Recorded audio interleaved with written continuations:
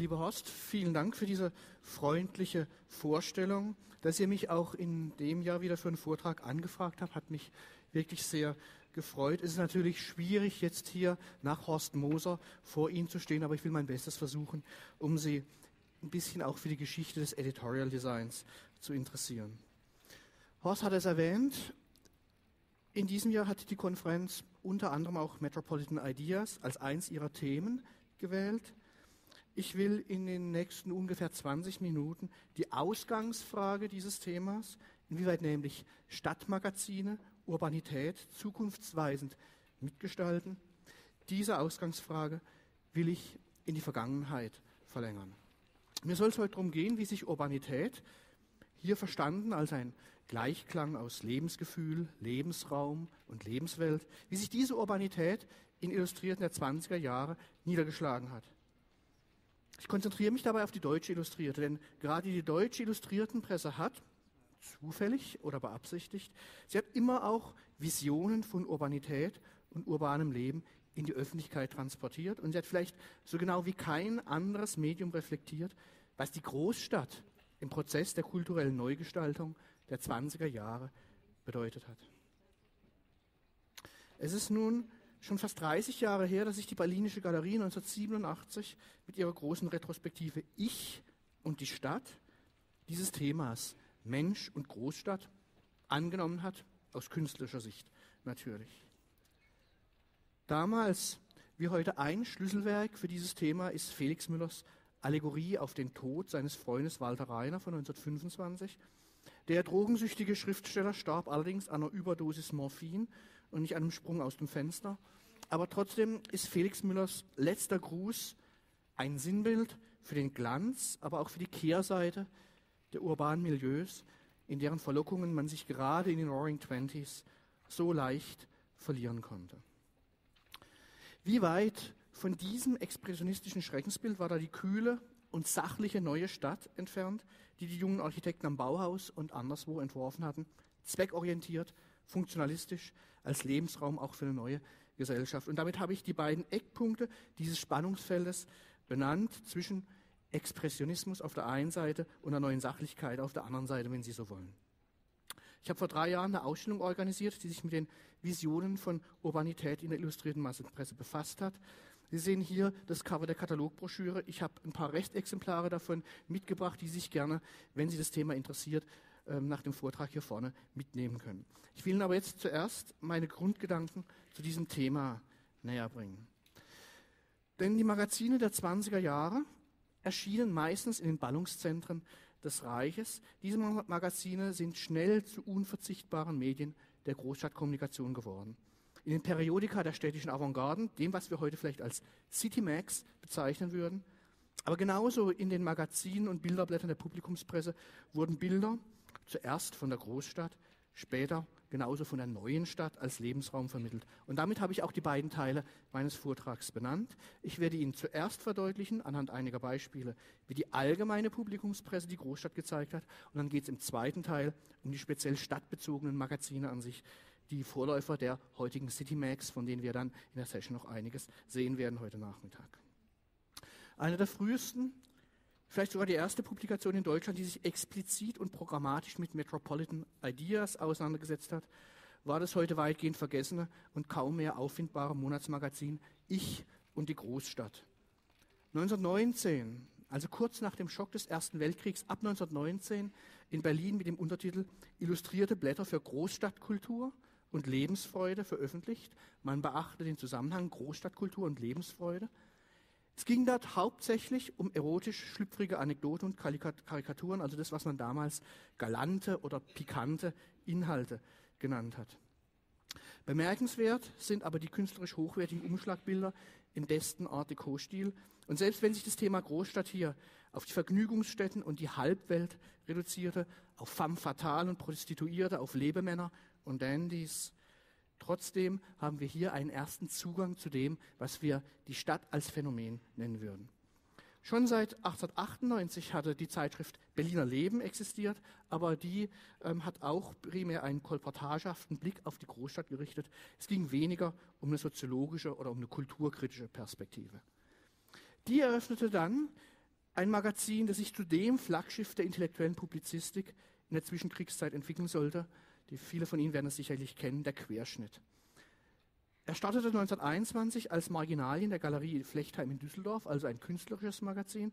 Aber mit dem Jahrgang 24 und dem Umzug nach Berlin hat der Querschnitt sein Spektrum erweitert und wurde zu einer Kulturzeitschrift ersten Ranges. Richtig ist, dass der Titel Querschnitt keinen konkreten Bezug zu einer bestimmten Großstadt oder zum urbanen Leben im Allgemeinen herstellt. Aber Sie müssen sich verdeutlichen, dass der Begriff Querschnitt damals eine spezielle Bedeutung hatte. Querschnitt stand damals für einen Schnitt durch die Zeit. Es gab den Querschnittsfilm, es gab die Querschnittsliteratur, die sich mit den aktuellen Zeitläufen befassten. Berlin-Alexanderplatz äh, wäre solch ein Querschnittsroman gewesen. Und beim Querschnitt war es eben oft eine Reflexion der modernen Gesellschaft aus der Warte der Hauptstadt Berlin. Nicht zuletzt diente der Querschnitt auch als Vorbild für den 1925 gegründeten New Yorker, bis heute das Sinnbild des Magazins für ein aufgeklärtes Metropolenpublikum. The New Yorker will be the magazine which is not edited for the old lady in Dubuque, wird der erste Herausgeber Harald Rost zitiert. Und solche Medien, eben für ein städtisches, aufgeklärtes Publikum, sind auch in Deutschland der 20er Jahre wie Pilze aus dem Boden geschossen. Der Uhu, das Leben, die Revue des Monats oder Scherls Magazin, ich zähle hier aus Zeitgründen nur ein paar wenige auf, dieser illustrierten Typ fand sein Publikum in einer neuen Mittelschicht, den Pendlern aus den Vorstädten, die ihren Arbeitsweg mit der Lektüre unterhaltsamer Stücke etwas kurzweiliger gestaltet haben. Und die Umschläge dieser Magazine, sogenannte Heftmagazine, bevölkerten gerne auch die modernen, neuen Frauen der Weimarer Republik. Und die neue Frau war eine zentrale Figur auch dieses neuen urbanen Milieus. Die neue Frau eroberte sich ihren eigenen städtischen Lebensraum. Sie sehen hier porträtiert die Architektin, die Automobilistin, die Motorradfahrerin, das sind nur drei Grundmuster dieses weiblichen Vormarschs in neue Domänen, die auch auf den Covers der Illustrierten gerne berücksichtigt wurden. Diese scheinbare Öffnung der Weimarer Gesellschaft, gerade für solche Aktivitäten, hat freilich oft eher einen mythischen Charakter besessen, denn einen tatsächlichen Kern. Denn die Zahl der Frauen, die emanzipiert genug waren, um diese dargestellten Tätigkeiten auszuüben und es noch zu regelmäßig, war verschwindend gering. Das Phänomen selbst war aber auch nicht geschlechtsspezifisch. Das Porträt des, war ich jetzt zu schnell?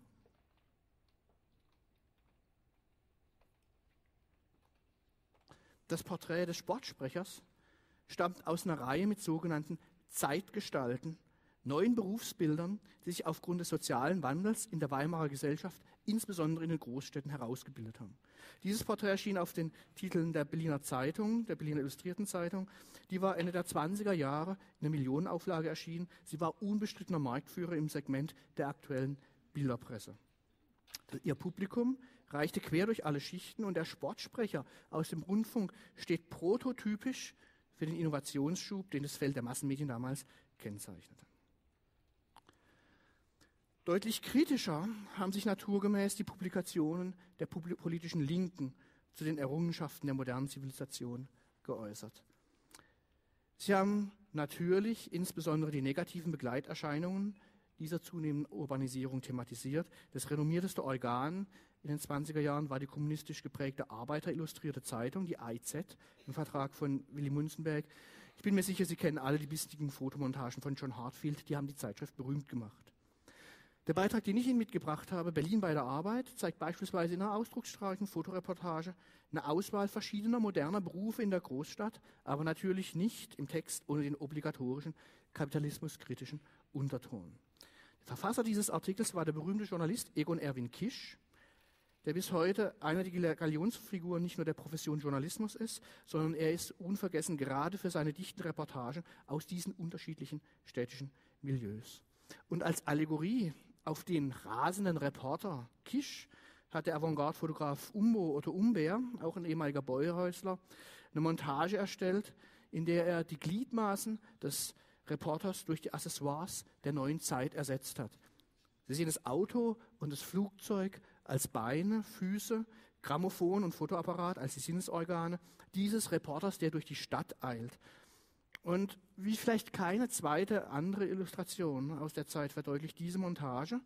Eine Montage, die übrigens auch für eine Zeitschrift ursprünglich geschaffen wurde, nämlich für den illustrierten Filmkurier, zu dem Dokumentarfilm Berlin, die Sinfonie der Großstadt. Diese Montage verdeutet die Rastlosigkeit der Metropolen in jenen Tagen. Und der Berlin-Film selbst ist bis heute ein singuläres Meisterstück der Kinokunst. Dieser Film, er hat in beeindruckenden Bildern die Hybris eben von Urbanität auf die Leinwand gebannt. Einerseits die Technikfaszination, andererseits die Kehrseite, die deprimierenden Lebensverhältnisse in der Berliner Arbeiterschaft in dem Fall. Aber das waren eben die Gegensätze dieser Zeit, die oft beschworenen Roaring Twenties mit ihren überhitzten Atmosphäre in der Großstadt, das chaotische Treiben einer industrialisierten Massengesellschaft. Als zeitgemäße Darstellungsform für diese Zerrissenheit kam bevorzugt die Fotomontage in Frage, wie Sie hier sie ja auch sehen. Mit ihrer Hilfe konnte man nun das Tempo und die Parallelität der sozialen Erscheinungen dynamisch abbilden. Und wie leicht sich auf diese Art Versatzstücke der städtischen Kultur gegen ein vermeintlich natürliches Landleben ausgespielt, ausspielen ließen, das zeigen die Umschläge dieses eher halbseidenen Medienprodukts namens Figaro. Es ist ein Magazin der Freikörperkultur und es um 1930 bevorzugt solche wilden Bildkonfrontationen für seine Umschläge verwendet hat.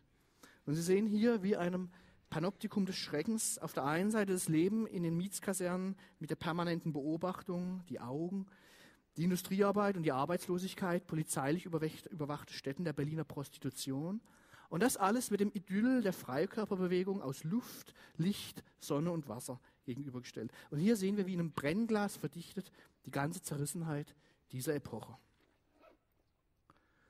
Dieser Umschlag der bürgerlichen Kulturzeitschrift Reklams Universum von 1930 anlässlich der Dresdner Hygieneausstellung, dieser Umschlag verdeutlicht, wie die moderne Gestaltung langsam auch für klassische Printmedien salonfähig wurde. Er wurde entworfen von dem Bauhausschüler Erich Mende. Und ich komme damit auch zum zweiten Teil meines Vortrags. Im Bauhaus und in anderen Einrichtungen der kulturellen Erneuerungsbewegung in den 20er Jahren setzt sich Mitte der 20er Jahre eben ein Gestaltungsprinzip durch, das unter dem Label elementare Typografie verbreitet wurde, später die sogenannte neue Typografie. Die gestalterische Programmatik ist Ihnen allen bekannt. Sie sehen hier ein Beispiel. Serifenlose Schriften, klarer Seitenaufbau, asymmetrische Verteilung der Elemente statt Mittelachsensatz, Einsatz von Fotografie, Mut zur weißen Fläche, nur ein paar Elemente habe ich hier genannt. Für unser Thema ist aber interessant, dass es ausgerechnet ein im weiteren Sinne stadtbezogenes Magazin war, das diese Programmatik schon ab 1926 so konsequent umgesetzt hat wie weltweit keine andere Publikumszeitschrift. Und damit, und das ist vielleicht meine wesentliche Botschaft heute an Sie, meine wesentliche Botschaft, damit hat sich auch die enge Liaison zwischen neuem städtischen Leben und einem neuen Stil im Grafikdesign begründet. Das neue Leben musste auch modern visualisiert werden. Das neue Frankfurt erschien in der Main-Metropole, damals eine aufstrebende Stadt in Deutschland, unter der Leitung des Stadtbaurats Ernst May, die Gestalter waren die Geschwister Leistikow, Walter Dexel, Robert Michel, später Willi Baumeister, alles klangvolle Namen in der deutschen Designgeschichte. Und es wurde mit seinem auffälligen quadratischen Format schnell zu einer Ikone der Moderne in Deutschland. Sie sehen den Untertitel, die Zeitschrift startete zunächst als Monatsschrift für die Fragen der Großstadtgestaltung. Später nannte sie sich Internationale Monatsschrift für die Probleme kultureller Neugestaltung. Es war ein klarer urbaner Bezug im Untertitel. Der Schwerpunkt lag auf Architektur und Stadtentwicklung. Oft mit Blick auf die aktuellen Probleme in dem rapide anwachsenden Ballungsraum Rhein-Main rund um die Metropole, Frank Metropole Frankfurt. Aber schon bald hat sich das Blickfeld erweitert auf alle Phänomene des modernen Lebens. Unter dem Überbegriff das neue Frankfurt wurden eine Reihe von Innovationen eingeführt und verbreitet, die uns heute allen noch geläufig sind. Unter anderem das neue Bauen mit Wohnungen für das Existenzminimum Heute wird man sozialen Wohnungsbau sagen. Oder vielleicht am berühmtesten die Frankfurter Küche, die erste Einbauküche der Welt als ergonomisch optimierter Arbeitsplatz der Frau. Die Zeitschrift mit dem Namen Das neue Frankfurt galt deswegen schnell als das Fachorgan für die moderne urbane Lebensführung. Und während der sieben Jahre, in denen sie bestand, bis 1933, während diesen sieben Jahren war das neue Frankfurt das Organ einer wirklich breiten Erneuerungsbewegung in Deutschland. Sie werden vielleicht sagen, dass die Auflage aus heutiger Sicht gering sein mag, 4000 Exemplare laut Anzeigenpreisliste 1930, das ging dann zurück auf 3000 1931, 2500 1932. Aber diese Zahlen sind weniger wichtig, denn ungeachtet dieser doch eher überschaubaren Zahlen kann man die Bedeutung von diesem Periodikum für die kulturellen und intellektuellen Umwälzungen in der Weimarer Gesellschaft kaum überschätzen. Denn seine Ausgaben gingen an die Meinungsführer unter Künstlern, Architekten, Intellektuellen, unter den politischen äh, und den unternehmerischen Entscheidungsträgern im Inland und im Ausland. Die haben diese Hefte wiederum in ihren eigenen Kreisen zirkulieren lassen und haben damit die Ideen des neuen Frankfurt in ihren eigenen Medien propagiert. Die Zeitschrift hat schon damals eine sporadische Beilage geführt. Es war ein lose beigelegtes Blatt mit dem Titel Frankfurter Register. Dies hat neueste Produktdesigns vorgestellt, die zu erschwinglichen Preisen eben auch der breiten Bevölkerung zugänglich sein sollten. Es gibt 17 durchnummerierte Einzelblätter, die haben in dem Sinne Stühle, Betten, Lampen, Tapeten, Wasserhähne und andere Haushaltsgegenstände für das moderne Leben in der Großstadt präsentiert. 1931 im fünften Jahrgang ist die Zeitschrift Konkurs gegangen und aus der Konkursmasse glückte dann 32 ein Relaunch als die neue Stadt. Das ähm, verdeutlicht die Orientierung der Zeitschrift über das Rhein-Main-Gebiet hinaus und es ist natürlich auch titelprägend für meine Broschüre gewesen. Einer der Herausgeber, Josef Gantner, hat später gesagt, seiner Ansicht nach seien die Probleme in Frankfurt jetzt ausführlich genug diskutiert worden. Jetzt sollte man die gefundenen Lösungen auch auf andere Orte übertragen. Und deswegen waren folgerichtig die nächsten Themenhefte Metropolen wie New York, Berlin, Stuttgart oder Bern gewidmet, wie Sie hier sehen. 1933 wurde die neue Stadt eingestellt. Es ist klar, ein Magazin dieses Zuschnitts geriet sofort ins Fadenkreuz der Zensurmaßnahmen gegen die deutsche Presse. Und dabei hat nicht nur die Zielrichtung der Themen Anstoß erregt, denn natürlich war das eine vermeintlich undeutsche Kultur, die hier präsentiert wurde. Genauso war es die linke politische Orientierung der Mitarbeiter, die außerdem auch häufig aus dem jüdisch-intellektuellen Umfeld kamen und deswegen verfolgt wurden. Zwischenzeitlich hat das Neue Frankfurt aber längst anderen Zeitschriften mit einer ähnlichen Zielsetzung als Vorbild gedient. Unter diesen frühen Citymax, wenn Sie so wollen, unter diesen Citymax erregte das neue Berlin die größte Aufmerksamkeit. Es ist eigentlich, wenn man es genauer anschaut, nur ein dreister Epigone, ein Plagiat des Frankfurter Originals. Und Herausgeber und Schriftleiter der Stadtbaurat Martin Wagner und Adolf Behne, ein einflussreicher Kunstpublizist, Wagner und Behne haben sich auch, und ich zitiere jetzt, als echte Verwandte des neuen Frankfurt gesehen, wie sie offen zugegeben haben. Und genauso hat sich auch dieses Hauptstadtmagazin primär der Architektur und dem Städtebau gewidmet. Sein Untertitel hat später schlicht gelautet Großstadtprobleme. Im ersten Heft haben Wagner und Behne ein manifestartiges Geleitwort formuliert. Unsere Aufgabe soll sein, alle Arbeiten, Gedanken und Leistungen zu sammeln, die beitragen können, Berlin zu einer Stätte glücklicher Arbeit und glücklicher Muße zu machen. Ich wiederhole, glücklicher Arbeit und glücklicher Muße. Die Macher haben sich damit auch als Wegbereiter für ein neues Europa, wie sie es genannt haben, gesehen. Aber leider hat sich ihre doch sehr ambitionierte Monatsschrift als kurzlebig erwiesen. Sie wurde eingestellt nach zwölf Ausgaben im Jahr 1929, auch aufgrund der Wirren der Weltwirtschaftskrise. Ich zeige Ihnen jetzt noch ein paar weitere Epigonen im unmittelbaren Einzugsgebiet von Frankfurt, nämlich im benachbarten Mannheim. In Mannheim erschien ebenfalls ab 1929 die Lebendige Stadt, ein Magazin für die städtebaulichen Probleme im Rhein-Neckar-Gebiet. Sie sehen hier das zweite Heft aus dem dritten Jahrgang. Es hat auf seinem Umschlag ziemlich plakativ gezeigt, was das Gebot der Zeit den Stadtkämmerern aufgezwungen hat. Sparen, selbst auf Grundlage einer Notverordnung. Die Auswirkungen der Moderne waren aufgrund der Nähe zum Dessauer Bauhaus auch bis nach Mitteldeutschland zu spüren. Davon zeugt beispielsweise das unscheinbare, aber herausragend seltene Stichwort aus Magdeburg, gegründet als städtisches Organ für Bühne, Musik und gestaltende Arbeit. Tatsächlich war Magdeburg, was man heute vielleicht gar nicht mehr so weiß, war Magdeburg damals ein Zentrum moderner Gestaltung, denn die grafische Abteilung des Hochbauamtes wurde von dem Ex-Bauhäusler Xanti Schawinski geleitet. Und er hat eben für die Stadt eine Reihe von Publikationen kreiert, darunter auch dieses Stadtmagazin im besten Sinne. Sie sehen neben dem Cover hier auch einen Rückumschlag und eine Anzeigengestaltung von Schawinski, zweifellos Werbegrafik der Avantgarde. Im nahen Leipzig, es war damals in der Zwischenkriegszeit eine bedeutende Verlagsstadt und ein Messestandort, erschien wieder ab 1929 ein PR-Blatt des Fremdenverkehrsamts unter dem jetzt nicht mehr wirklich überraschenden Titel Das neue Leipzig. Ganz im Sinne aktueller Stadtmagazine wurde hier eine Mischung aus Veranstaltungskalender und Zeitgeschehen präsentiert, als Untertitel Monatshefte für die Kulturinteressen der Großstadt. Auch hier sind wir wieder bei unserem Thema. Und schließlich hat auch die etwas schläfrige Universitätsstadt Münster versucht, es war damals bestenfalls eine Provinzmetropole, hat auch Münster von dem Trend zu profitieren versucht und hat wieder 1929 sein Magazin gestartet.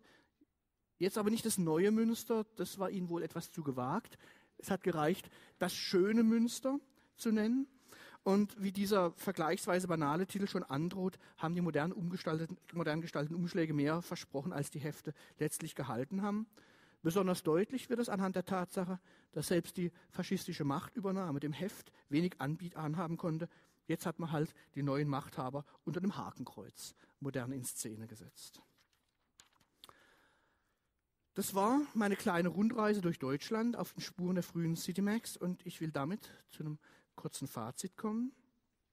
Meine Beispiele haben gezeigt, denke ich, dass sich insbesondere Ende der 1920er Jahre und insbesondere im Jahr 1929 eine Welle großstadtbezogener Zeitschriften auf dem deutschen Markt etabliert hatte. Und diese Magazine haben sich immer wieder mit dem konkreten Lebenswelt beschäftigt, die die Menschen in Metropolen umgeben hat, mit der neuen Zeit. Themen sind beispielsweise die zeitgenössische Architektur oder die industrielle Produktkultur, aber genauso wie Sie hier sehen, die Lebensreform. Für die Macher stand außer Frage, dass man die moderne Lebenswelt auch in einer modernen Anmutung präsentieren musste. Und deswegen hat sich diese Verbindung zwischen gestalterischer Avantgarde und urbanem Lebensgefühl nochmals konsolidiert. Und es ist eine Verbindung, die uns bis heute, bis in diese Konferenz hinein prägt. Daneben hat auch die Publikumspresse und gerade die in der neuen Mittelschicht der städtischen Angestellten so beliebten Unterhaltungsmagazine, auch diese Presse hat regelmäßig über den letzten Schrei und die Innovation im Alltagsleben berichtet. Es hat sich ein Lebensgefühl vermittelt, das sich in exzentrischen Erfindungen und neuen Berufen, aber genauso in Erscheinungen sozialen Wandels, also etwa den veränderten Geschlechterverständnissen, niedergeschlagen hat. Die neue Stadt wurde in den 20er Jahren ein Kampfbegriff gegen die konservative Stadtplanung. Die neue Stadt wurde gleichzeitig auch ein Sinnbild für den Aufbruch in die Moderne. Aber lassen Sie mich für den Abschluss noch einen Blick auf die Stadt werfen, in der wir uns gerade befinden. München kam in meinem Vortrag bisher nicht vor. Vielleicht ist Ihnen das aufgefallen. Das habe ich ja bis zum Schluss aufgehoben.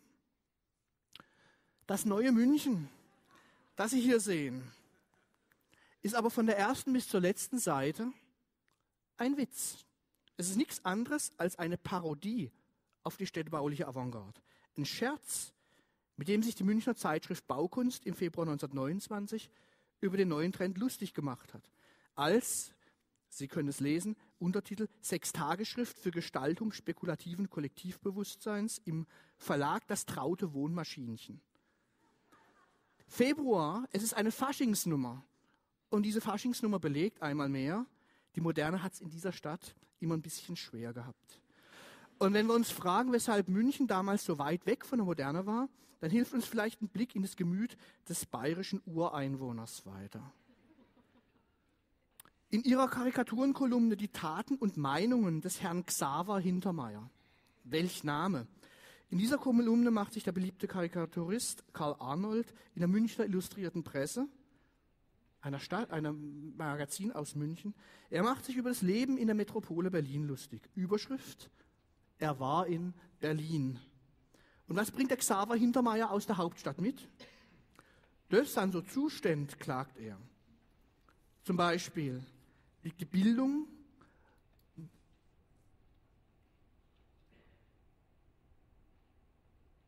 die Bildung auf der Straße. Im Theater merkst wenig vom Geist, siehst aber sehr viel Fleisch. Bei den Gästen weiß nicht, ist er Herr oder eine Dame. Mein Lieber, da bist froh, wann du den Anhalter Bahnhof wieder siehst. Und damit verabschiede ich mich auch von Ihnen. Vielen Dank für Ihre Geduld.